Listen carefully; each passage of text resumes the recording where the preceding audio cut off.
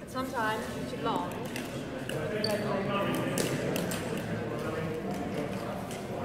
Always towards the post.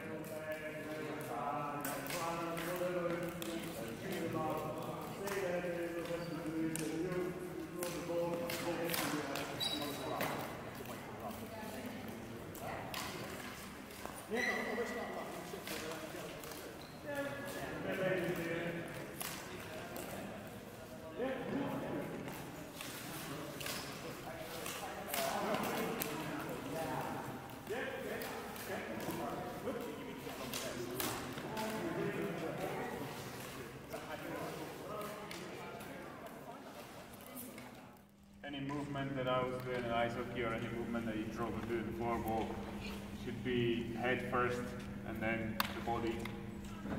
So um, yeah, like when when this pass from there, the cross pass comes, your first reaction, if you maybe didn't train it, could be move because you, you keep doing the same thing, or like if you keep doing the same thing, your your first reaction would be just move there without looking but it, it always should be look and then move. Yeah. It's it's from ice hockey when I'm when I'm coaching the keepers. You've got the drill. Three steps, and then you can throw, then you can take it back, You can to your defender. But you always take two steps. So the other players need to go backwards. Here's the player, as an offender or whatever.